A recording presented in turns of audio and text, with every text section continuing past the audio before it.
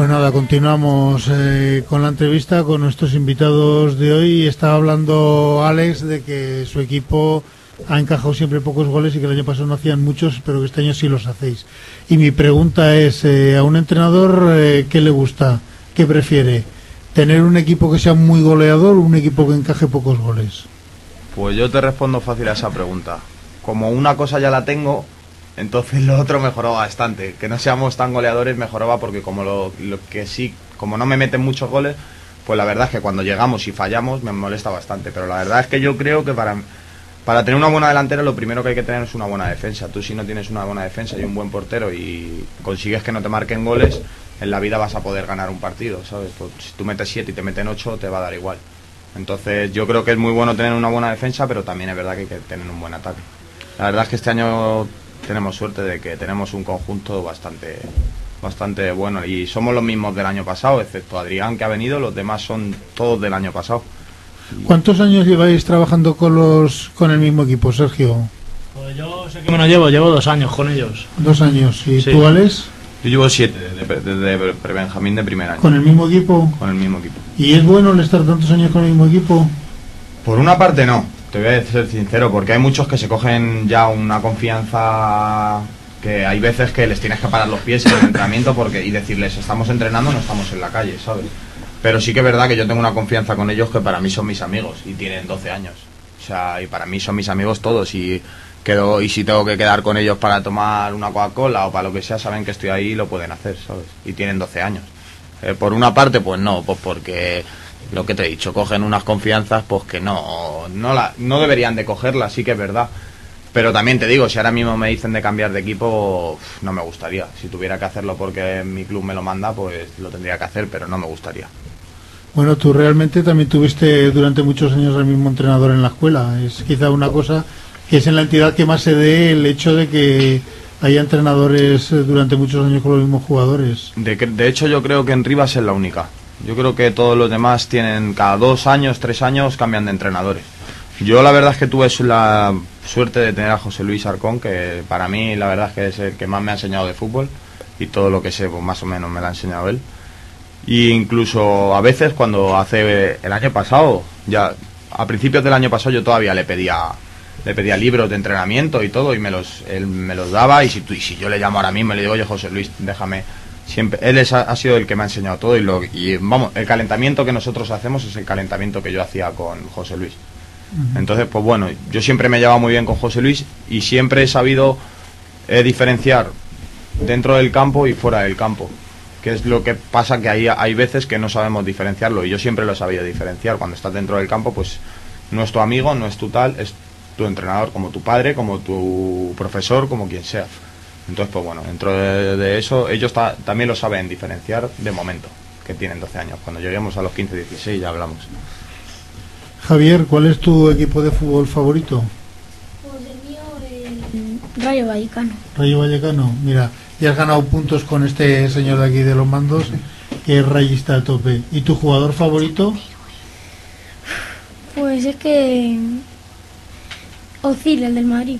Decir el de Madrid. No pasa nada porque te guste uno del Madrid y eso no tiene ningún problema. Ya, ¿Y a quién te pareces tú jugando? ¿O a quién crees que te pareces? no sé, porque nunca me lo nunca me lo he imaginado. ¿No? ¿Y Diego, quién es, eh, cuál es tu equipo favorito? Para mí el equipo favorito es el Barça, El Barça. ¿Y tu jugador favorito? Messi. Fíjate que casi, casi lo intuía. Casi lo intuía. ¿Y tú a quién te pareces jugando? Pues no sé, nunca me... Nunca más. ¿No? No, no sé, no... Alejandro, misma pregunta. ¿Tu equipo favorito? El Rayo. El Rayo también. No lo diréis porque él esté en el control. No, es que es del Rayo. ¿Y, y tu jugador favorito? Eh, hombre, tengo varios. A ver, di. Eh, a mí me gusta Xavi Alonso mucho por el estilo que tiene y Xavi el del Barça también. No, Aunque, no tienes mal gusto, ¿no? ¿Y, ¿Y tú a quién te pareces? hombre, eso yo no sé. Eso ya lo dirá Alex o quien sea. ¿Sí? Sí. Luego le preguntaré a Alex. Eh, David, Yo del Atlético de Madrid. del Atlético de Madrid. ¿Y tu jugador favorito? Aunque no sea del Barça, pero mi, el mejor, el mejor jugador es Messi. ¿Te gusta más que Falcao, por ejemplo? Sí. Sí. Bueno, es mejor. Eh, es bueno que sepáis ver las cosas. ¿sí? Iván, Pues yo soy del Real Madrid y parecerme pues no, no, tu jugador favorito primero. Casillas. También lo intuía, pero bueno. Y, Hombre, y de portero Casillas, luego de jugadores pues hay varios que, que me gustan bastante. Dime quién es, a ver. Pues Cristiano me gusta mucho, Falcao. ¿Y parecerte a quién crees que te pareces? Siendo portero es difícil parecerse a alguien porque, no sé, todos son buenos, entonces, no sé, pues no, no sabría decirte. ¿Qué es lo que tú crees que haces bien y que puedes decir, pues mira, yo en esto a lo mejor me parezco un poco a Casillas? Hombre, yo en los manos a mano soy bastante bueno, entonces, pues en eso sí me podría parecer a Casillas. ¿Y eres valiente en la portería o eres de los que vuelven la cara cuando ves venir un balonazo? No, la verdad es que me quedo y la paro, si puede ser, y si no, Y acaba echando sangre siempre. ¿Sí? Se declaran los aparatos y acaba siempre echando sangre. Tenemos que salir a, a darle agua. ¿Sí? sí. ¿Qué es lo peor de tu puesto de ser portero, Iván? Pues que es, por así decirlo, el más discriminado. Si, si, la, si la lías, pues toda la culpa va al portero. Y hay veces que las paradas no reciben el mérito suficiente como un gol.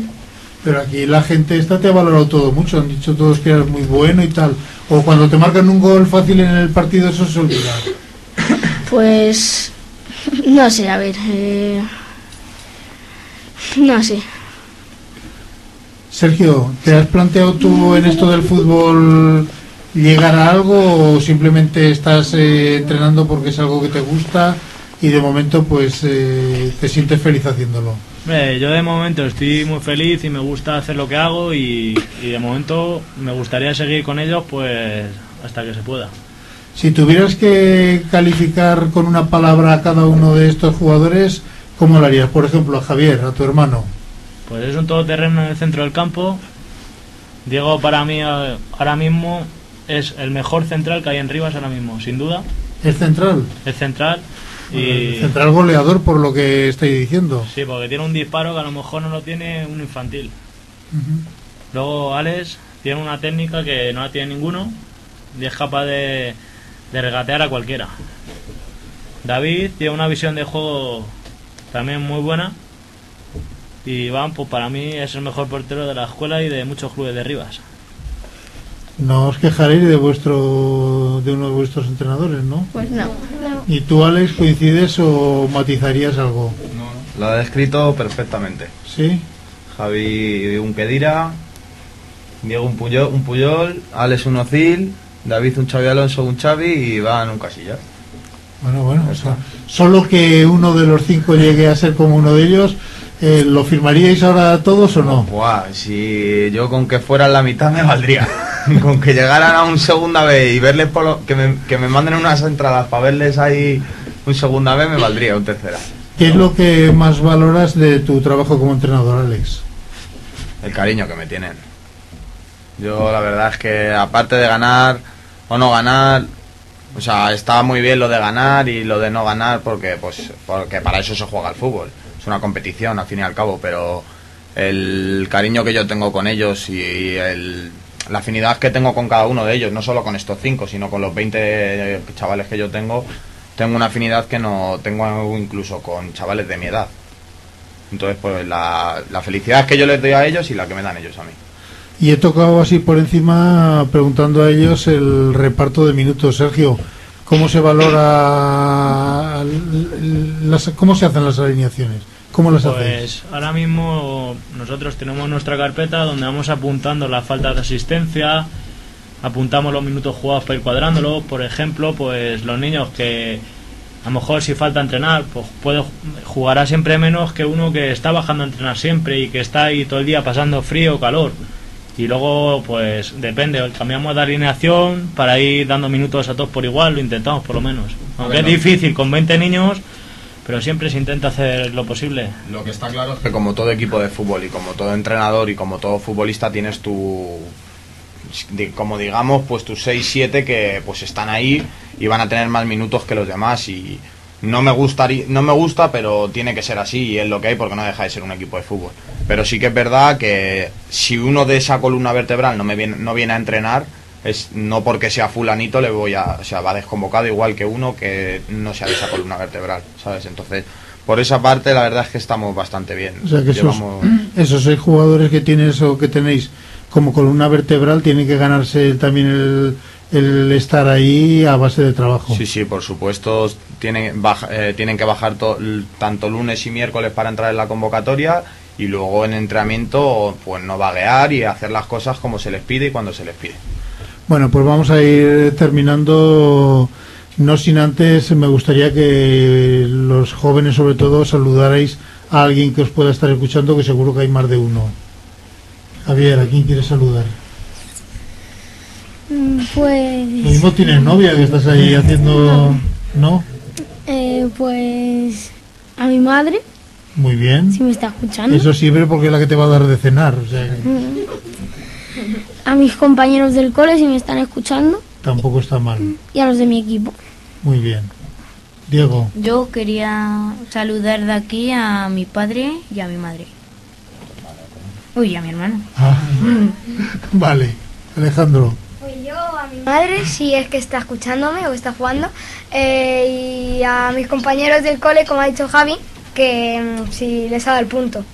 Y, bueno, Ah. si no les podéis decir luego, que como el programa se repite, lo pueden escuchar en otro momento. y a mis compañeros del equipo. Muy bien. David, Yo a mi familia, a mis compañeros del cole y a los de mi equipo. Iván, Pues yo, igual que David, a mi familia, los compañeros del cole y los del equipo. pues Sergio y Alex tenéis eh, la última palabra, primero uno y después el otro, para que digáis lo que lo que os parezca más oportuno. Vamos, Sergio. Bueno, pues quería agradecerle a, a la gente del equipo, con que no está aquí, que para nosotros saben que son iguales. Y para mi madre y para mi familia también. Eh, Alex, Nada, yo quería agradeceros de de verdad vos- eh, vuestro, vuestra labor que hacéis en Rivas por todo, la verdad es que somos muy cansinos, son muchos partidos al fin de semana, son los sábados, son los domingos, haga nieve, lluvia o lo que sea, siempre estáis ahí al pie del cañón, la verdad. Y me gusta bastante la labor que hacéis porque si no, Rivas no estaría ni informado de qué se hace o se deja de hacer en los equipos de fútbol. Y lo tenéis como un hobby y la verdad es que la gente no, no, se, no sabe ni la mitad de cosas que hacéis. Pero bueno, los que sí llevamos unos cuantos años en esto, pues sí sabemos lo que hacéis. Y nada, daros las gracias por habernos invitado y poco más. Y lo que ha dicho Sergio sobre todo, que a los chavales que nos hemos traído aquí, pues que un abrazo y un saludo y que a por la liga, a ver si se puede ir a por ella. pues nada, muchas, muchas gracias a vosotros y ya sabes que este último sábado pensaba ir a ver vuestro partido, pero cuando vi que estaba lloviendo a mares, con esta cámara no se puede hacer milagros y dije, paso porque me voy a... Iba a decir encabronar, pero bueno, lo digo. Eh, mientras esté haciendo las fotos y luego al descargarlas. Eh, esperaré un día que haga mejor y, y iré a ver cómo juegan estos chavales que a muchos de ellos ni los conozco. Pues te tomo la palabra, ¿eh? Vale, venga, gracias.